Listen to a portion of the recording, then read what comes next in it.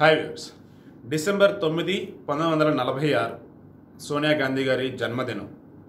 ఇప్పుడు ఆమె జన్మదినం గురించి ఎందుకు? ఈరోజు జగన్మోహన్ రెడ్డి జన్మదినం కాదని మీరు అనుకోవచ్చు. ఇక్కడ ఒక విషయం ఉన్నది. పంతొమ్మిది వందల డెబ్భై రెండు డిసెంబర్ ఇరవై ఒకటి జగన్మోహన్ రెడ్డి జన్మించిన రోజు. పంతొమ్మిది వందల నలభై ఆరు డిసెంబర్ తొమ్మిది సోనియా గాంధీ గారు జన్మించిన రోజు. ఈ రెండు డేట్స్ కూడా ఒక అవినాభావ సంబంధం ఉన్నది. లేదా ఆస్ట్రాలజీ పరంగానో లేదంటే సైంటిఫిక్ ఇన్సిడెంట్స్ పరంగానో వేరే ఇష్యూస్ గురించి కాదు. కేవలం ఈ రెండు జన్మదినాలు కూడా ఆంధ్రులకి ఎస్ ఆంధ్రులకి. అంటే శ్రీకాకుళం విజయనగరం విశాఖపట్నం తూర్పుగోదావరి పశ్చిమ గోదావరి కృష్ణా గుంటూరు ప్రకాశం నెల్లూరు కర్నూలు కడప అనంతపురం చిత్తూరు. ఈ పదమూడు జిల్లాల వారికి ముఖ్యంగా రైతులకి అదేవిధంగా సమైకాంధ్ర వాసులకి ఒక పీడకలను మిగిల్చాయని చెప్పవచ్చు. ఎందుకు అంటే ముందుగా డిసెంబర్ తొమ్మిది రెండు వేల తొమ్మిదికి వెళ్దాం. ఆ రోజు ఏంటి? హైదరాబాద్లో నిమ్స్ హాస్పిటల్. మొత్తం జనం కిక్కిరిసి ఉన్నారు. జై కేసీఆర్ కేసు నినాదాలు చేస్తూ ఉన్నారు. ఎందుకు? ఆ రోజే సోనియా గాంధీ చిదంబరం చేత ఒక ప్రకటన ఇప్పించింది. ఏంటి అంటే కొద్ది రోజులుగా నిరాహార దీక్ష చేస్తున్నటువంటి కేసీఆర్ కావచ్చు తెలంగాణలో వెల్లువెత్తున్నటువంటి నిరసనలు కావచ్చు వీటన్నింటిని కూడా మేము పరిగణలోకి తీసుకొని ఈ రోజు నుంచి తెలంగాణ రాష్ట్ర ఏర్పాటు దిశగా మేము స్టెప్స్ తీసుకోబోతున్నామని ఒక ప్రకటన ఇవ్వడం జరిగింది. నాడు ఉన్నటువంటి హోంమంత్రి చిదంబరం చేత. దాంతో తెలంగాణలో ఒక్కసారిగా హర్షద్రగాలు వ్యక్తమైనాయి. అయితే స్టెప్ మాత్రమే తీసుకున్నారు. కానీ ఎక్కడ సరే వెనుకడుగు వేయవచ్చు అని చెప్పేసి జేఏసీ జాయింట్ యాక్షన్ కమిటీ అదేవిధంగా విద్యార్థులు ఉద్యోగులు వీరందరితో ఈ కమిటీ ఫామ్ చేసి ఇందులో సెక్రటరీ ఎవరు చైర్మన్ ఎవరు లేదంటే మీతో కన్వీనర్లు ఎవరు ఎలా ఉండాలి ఏంటి టీచర్ మొత్తం ఒక ఫామ్ అయిపోయి ఆ రోజు నుంచే తెలంగాణ రాష్ట్ర ఏర్పాటు దిశగా మరింత వేగాన్ని పెంచడం జరిగింది తెలంగాణ వాసు.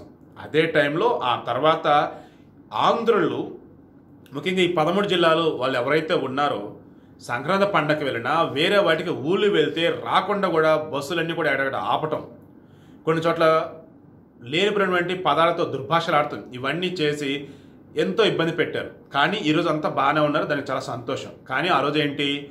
ఉద్యమంలో భాగంగా మాకు తప్పలేదురా బై అని చెప్పేసి ఎంతమంది ఫ్రెండ్స్ని కూడా పాపం మిగతా వాళ్ళు చెప్పిన సందర్భాలు ఉన్నాయి. ఓ రకం మెచ్చుకోవచ్చు. ఎందుకంటే ఈరోజు చక్కగా కలిసిమెలిసి అంతా బాగున్నారు. ఓకే? అయితే ఆంధ్రులు ఎవరైతే ఉన్నారో వాళ్ళంతా పెట్టుబడులు కావచ్చు మిగతావి కావచ్చు అంతా హైదరాబాద్లో పెట్టడం జరిగింది. మీ ఇక్కడ వాళ్ళు కూడా పెట్టారు నార్త్ ఇండియా కూడా పెట్టారు. కానీ అయ్యో ఇక ఇది మనది కాదే అన్న భావన ఎక్కడన్నా ఉండిపోయింది వాళ్ళు కానీ ఆ తర్వాత ఎలాగలా కేసీఆర్ ఏం చేశాడంటే మీకు వచ్చిన ఇబ్బంది లేదు. మీ కాళ్ళలో ముళ్ళు గుచ్చుకుంటే నేను మునిపంటితో నేను ఇలా తీస్తా. మీ ఎవరికి ఏ ఇబ్బంది రాదని ఆయన చెప్పడం కావచ్చు. హైదరాబాద్ జిహెచ్ఎంసీ ఎన్నికల్లో కేటీఆర్ ఆంధ్రులకి రక్షగా నేను ఉంటాను చెప్పడం కావచ్చు. ఎక్కడ ఇబ్బంది లేదని చెప్పడం కావచ్చు. ఎక్కడికక్కడ ఫుల్ సేఫ్గా సెక్యూర్గా ఉంచేశారు. కానీ ఇప్పటికీ ఆంధ్రులకి డిసెంబర్ తొమ్మిది అంటే ఒక పీడకలగానే ఉంటుంది. ఎందుకంటే కలిసి ఉందాము అన్న ఆశ ఏదైతే ఉందో దానికి ఆ రోజే గండి కొట్టడం జరిగింది. నాడు ఉన్నటువంటి కేంద్ర ప్రభుత్వం అదేవిధంగా నాడు ఉన్నటువంటి సోనియా గాంధీ గారు. ఎవరి చేత చెప్పించారు? చిదంబరం గారి చేత. ఇది డిసెంబర్ తొమ్మిది రెండు వేల తొమ్మిదికి సంబంధించి. ఇది ఆమె బర్త్డే కానుగ్గా తెలంగాణ వారికి ఇచ్చిన మాట అన్నవేళ కూడా చాలామంది చెప్పుకుంటూనే వచ్చారు. ఓకే? ఇక ఆంధ్రప్రదేశ్ విషయానికి వద్దాం. డిసెంబర్ ఇరవై ఒకటి రెండు వేల పంతొమ్మిది. ఇదేంటి అన్నప్పుడు ఈరోజు ఆంధ్రప్రదేశ్లో చాలా చోట్ల కేకులు కట్ చేస్తూ వైసీపీ వాళ్ళు మరికొన్ని చోట్ల ఏమంటూ ఉన్నారంటే జగన్మోహన్ రెడ్డి బర్త్డే కానుకగా ఉత్తరాంధ్ర వాసులకి విశాఖపట్నం అడ్మినిస్ట్రేటివ్ క్యాపిటల్గా ఇచ్చారు. ఉత్తరాంధ్ర వాసులకి ఇచ్చేది ఏంటి అడ్మినిస్ట్రేటివ్ క్యాపిటల్ అంటే ఆంధ్రప్రదేశ్ మొత్తానికి కదా? మరి అలాంటప్పుడు ఉత్తరాంధ్ర వాసులకు ఇచ్చేది ఏంటి? అంటే వాళ్ళ కోసం ఇస్తున్న క్యాపిటల్ అది. కాదు కదా? సో ఈ లాజికే మిస్ అయిపోయారు. దానివల్లే ఈరోజు ఎక్కడైతే రాజధానిని చెప్పారో అమరావతి ప్రాంతంలో ఎక్కడైతే ముప్పై మూడు వేల ఎకరాల భూములు ఇచ్చిన రైతులు ఉన్నారో ఈ మా ప్రాంతమే రాజధాని కాకపోతుందని చెప్పేసి భూములు కొనుక్కొని ఉన్నారో వారంతా కూడా కన్నీరు మున్నీరు అవుతూ ఉన్నారు. జగన్మోహన్ రెడ్డి బర్త్డే కానుకేమో కానీ మా సవాళ్ళని మీరు త్వరలో చూస్తారు. మా కన్నీటి మీద మీరు బర్త్డే చేసుకుంటున్నారు ఎంత దుర్మార్గం ఇది?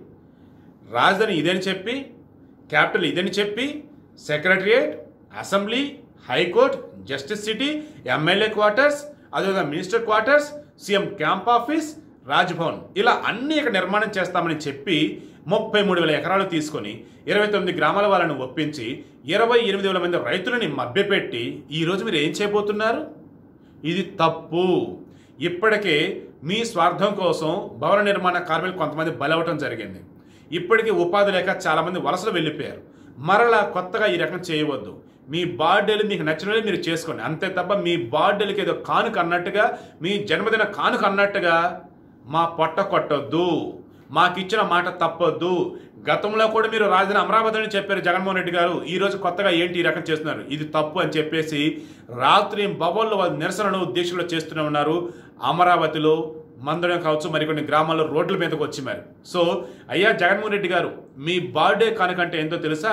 నిజంగా మీ జన్మదిన కానుకగా ఒక రాష్ట్ర ముఖ్యమంత్రిగా రాష్ట్ర ప్రజలందరికీ సంతోషాన్ని కలిగించే విధంగా మీ నిర్ణయం ఉండాలి మీ మాట ఉండాలి తప్ప ఏదో ఒక ప్రాంత వాసులకి సంతోషం కలిగించే విధంగా మీ మాట ఉండకూడదు. అలా గనక ఉన్నట్టు స్వార్థంతో మీరు తీసుకున్న నిర్ణయం అవుతుంది. అదేవిధంగా ఏదో ఒక ప్రాంతానికి చెందినటువంటి వాడిగా మిమ్మల్ని అందరూ చూస్తారు తప్ప రాష్ట్రం మొత్తానికి చెందిన చెందిన వాడిగా మిమ్మల్ని చూడరు సార్. సో ఒక్కసారి అమరావతి ప్రాంత రైతుల యొక్క బాధ ఏంటో వినండి. గతంలో చంద్రబాబు నాయుడు ఏ విజన్తో అయితే కొన్ని స్టెప్స్ తీసుకున్నాడో అందులో ఏవి ప్రాపర్ ఏంటనే వెళ్ళి మీరు ఆలోచించండి. చంద్రబాబు నాయుడు ఇప్పటికీ చెప్తూనే ఉన్నారు. ముప్పై మూడు వేల ఎకరాల్లో అక్షరాల ఎనిమిది వేల ఎకరాలు దాదాపు మిగులుతుంది అయ్యా జగన్మోహన్ రెడ్డి. దాంతో ఎంచాక మీరు డెవలప్మెంట్ యాక్టివిటీస్ కావచ్చు వేరే వాళ్ళకి ఇవ్వడం ద్వారా కొన్ని లక్షల కోట్లు మిగులుతాయి ప్రభుత్వానికి. లేనిపోని విధంగా వెళ్ళి ఎక్కడో రాష్ట్రంలో మారుమూలటువంటి వైజాగ్లో మీరు అడ్మినిస్ట్రేటివ్ క్యాపిటల్ అంటే రాష్ట్రానికి తీరని నష్టం చేసిన వాళ్ళు అవుతారు. అటు రాయలసీమకైనా ఇటు ఉత్తరాంధ్రకైనా మధ్యనటువంటి ప్రాంతం ఏదైనా ఉందంటే అది ఈ అమరావతి రాజధాని ప్రాంతమే. దయచేసి దీనిని మీ స్వార్థ రాజకీయ బుద్ధితో మార్చవద్దు. ఇక్కడే అన్ని ఉండేలాగా చూడండి అంతా మొత్తుకుంటూ ఉన్నారు. రాజకీయ నాయకులు ఏంటి మిగతా వాళ్ళు ఏంటి అంతా అదే చెప్తున్నారు. మరి జగన్మోహన్ రెడ్డి గారు బార్డే కానుక అని చెప్పేసి మూడు రాజధానులు అని చెప్పేసి నిజంగానే ఈ అమరావతి ప్రాంత వాసులు కావచ్చు ఏపీలో ఉన్న మరికొంతమంది కావచ్చు పేడకలను మిగులుస్తారా? లేదు అంటే ఆ పీడకల కాదు మంచి చేయబోదని చెప్పేసి అమరావతిని రాజధానిగా ఉంచుతారంటే తెలియాల్సి ఉంది బట్ ఏది ఏమైనా సరే ఈ డిసెంబర్ నెలలో ఆంధ్రులకి రెండు పీడకలలు అని చెప్పేసి ఈరోజు చాలామంది అంటూ ఉన్నారు. డిసెంబర్ తొమ్మిది నాడు తెలంగాణ రాష్ట్ర విభజన అన్నవేలో స్టేట్మెంట్ ఇవ్వటం.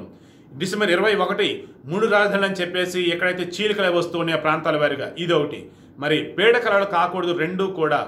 ఒకటి ఆల్రెడీ అయిపోయింది. దాన్ని ఇప్పటికీ చాలా మంది తట్టుకోలేకపోతున్నారు. ఇప్పటికే హైదరాబాద్ విషయంలో చాలామంది బాధపడుతున్నారు ఆంధ్రులంతా కూడా. కాబట్టి అది అప్రస్తుతం ఇంకా. అది అయిపోయింది. కానీ అమరావతి రాజధాని అనేది ఏదైతే ఉందో ఇది ఖచ్చితంగా భావితరాల బాగు కోసం అన్న ఆలోచించి జగన్మోహన్ రెడ్డి ఆ వేళ ఆలోచిస్తున్న మనస్ఫూర్తిగా కోరుకుంటూ ఉన్నాను.